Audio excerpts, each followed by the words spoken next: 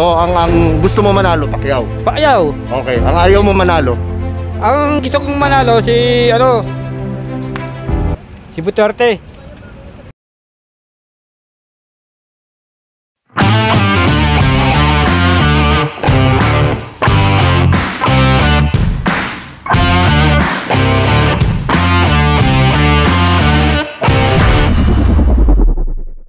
What's up mga papi at mami? Ito nga pala si Tio Bry. Ah, medyo matagal na naman ako nag-vlog, na busy na naman sa trabaho, 'di ba?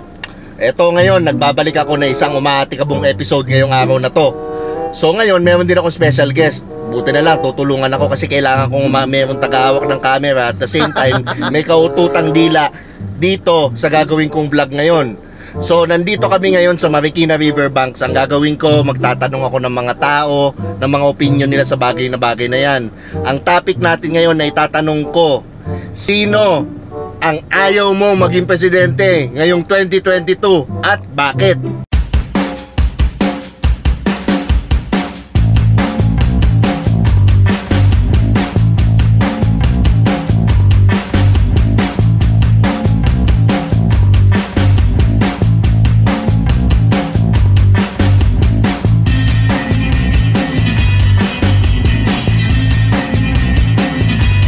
Super, ah ito, simpleng tanong lang. Sinong ayaw mong manalong presidente ngayong 2022 at bakit?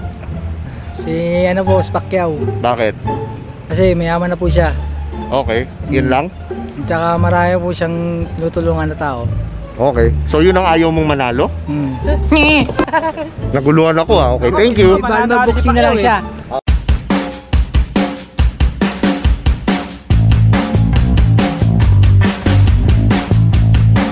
Okay. Sir, anong pangalan nila? Rudolph Reyes po. Okay. Sir Rudolph, sinong ayaw mong manalong presidente ngayong 2022 at bakit?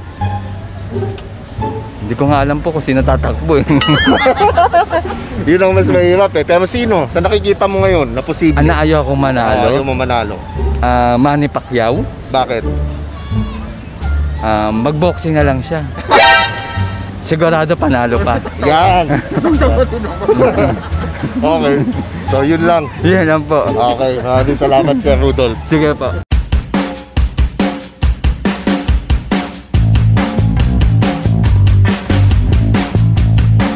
Sama natin si Sir Henry. Okay, Sir Henry.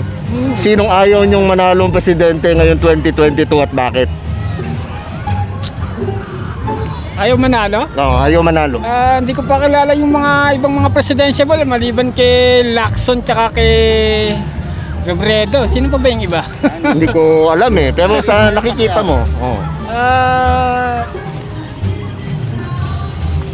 Doon sa dalawang nabanggit ka, tingin ko mas gusto ko si Lacson. Okay, yung ayaw mo. Ah si Pacquiao kung tatakbo ayoko ka sa kanya. Bakit? Ah, I think kasi may kaso siya eh. Yung dalawang bilyong kaso niya na tax evasion, tingin ko tinatakasan niya yun kaya tumatakbo siyang presidente. Opinion ko lang naman yun, opinion ko lang Oo yun. naman, oo naman. Wala naman masama sa opinion. Ah, Oo. Kay Lacson naman gusto ko siya kasi siguro yung experience niya, tsaka yung discipline niya. Okay, okay, okay. O yun lang naman sir. Maraming salamat sa ano. Yeah. Thank you sir. Thank you.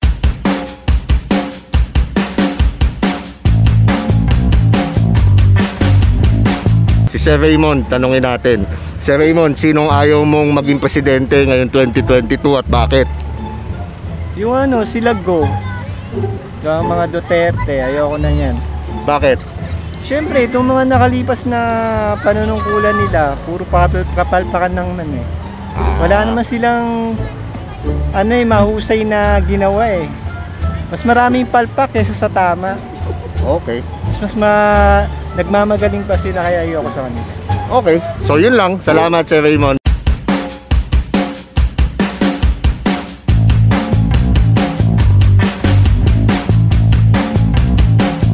Oh, bro? Ano po, Alfred? Aldred? Aldred? Okay, Aldred. Simpleng tanong. Sinong ah, ayaw mong manalong presidente ngayong 2022? Si ano, si... Si Pacquiao. Bakit? Wala, ilaw pa po yun. Okay.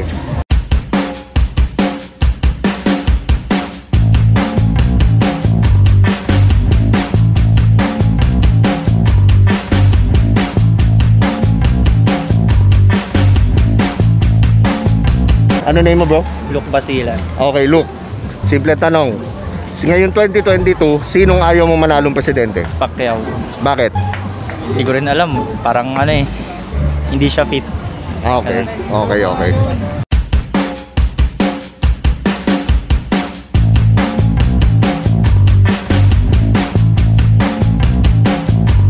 nila kuya? Doy Orayan. Okay, Sir Doy, um, sinong ayaw mo manalong presidente ngayon 2022 at bakit? Si ano, siyempre si Manny Pacquiao. Bakit? Eh ano, parang di bagay sa kanya. Parang ano, parang di, wala pa sa level niya yung sa ganung posisyon. Ah, okay, okay. Okay, so yun lang si Pacquiao. Okay, yun lang. Salamat.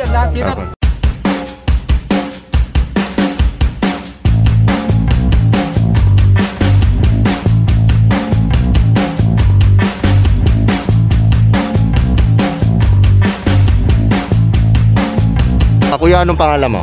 Joel Tatan. Okay, Joel. Kuya Joel, ngayong 2022, sinong ayaw mong manalong presidente at bakit?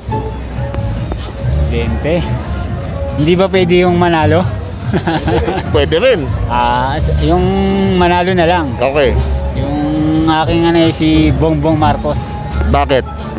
Para yung mga magagandang nagawa ng kanyang ama eh mas ma mas mapagpatuloy niya pa. Okay, okay, okay. Yun lang po. Salamat.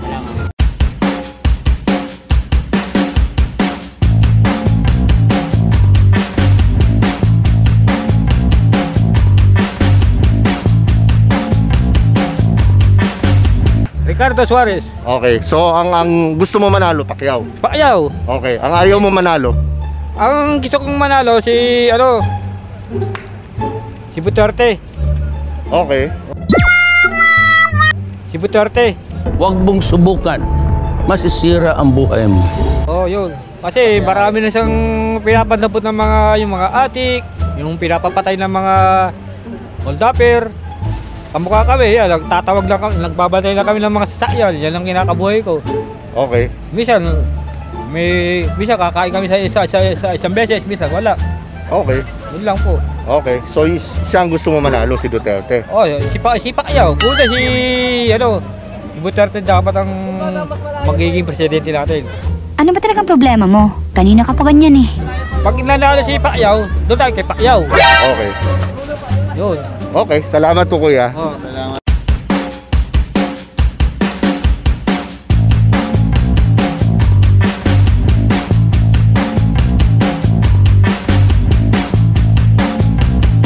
Alan nila sir? Ivan, Okay, Ivan. Sinong ayaw mong manalong presidente ngayon 2022? sino po ba yung tumatakbo ngayon mga presidente?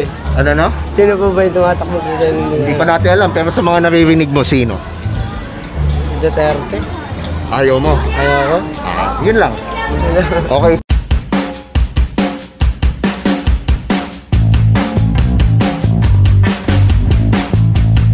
Mark Joseph. Okay, Mark Joseph. Ngayon 2022, sinong presidente ang ayaw mo manalo? Duterte. Bakit?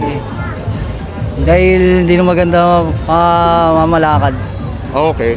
Okay, okay. Okay, so ayun mga papit mami, nakita na natin ang pulso ng taong bayan. Actually, hindi to political, this is just for fun. 'Di ba? Ulitin ko, wala kaming kinakampi ang kandidato. Sa mga hindi pa nga pala nakasubscribe sa akin, mag-subscribe ka na dito sa channel ko. Hit mo na yung like button below. Yun lang po. Salamat. Peace.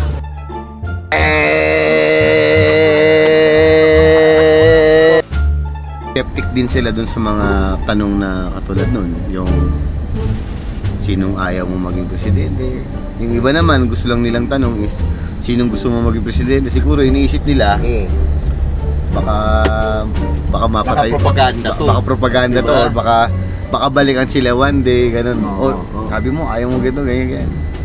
Uh, Pero sa totoo lang talaga, hindi naman tayo propaganda. Hindi, Trip wala. lang to. Di ba? propaganda to, pangit. lang. Propaganda din. Dami natin pera sana. Maybe you've been wondering how these stories gon' fly With the history of our people making it shine It's the best that I believe we got the power to see The potential of the people we've been trying to make With